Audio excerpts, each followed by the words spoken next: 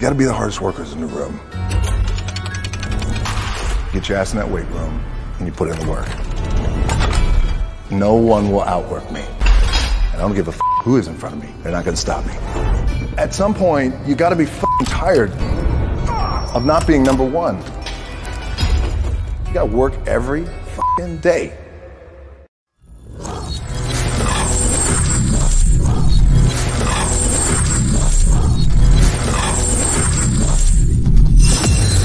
Saturday night, and I ain't got nobody. I got some money cause I just got paid. Oh, how I wish I had some chick to talk to. I'm in an awful way. You're like, hey, Rock, American Idol is down the fucking road. okay?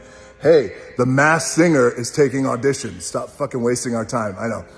I'm being very silly. It's Saturday night. Um, just got done with my workout here. I just wanted to um, share something with you really quickly. So there was a huge response to the last post that I posted right here in the gym. I think it was yesterday, last night, around midnight or so. And uh, I talked about pushing uh, past the fatigue and doing the daily consistent little things that so many times we don't fucking feel like doing, but we do them anyway. Because I do believe truly that when you do push past the fatigue, on the other side of pushing past the fatigue and conditioning your body and your mentality to do that, usually on the other side of that fatigue is some greatness, is some achievement.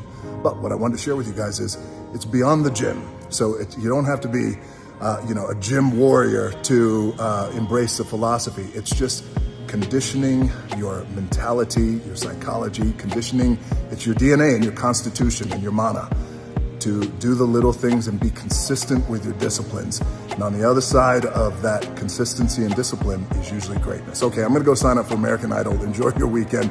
I love you guys and thanks for the response.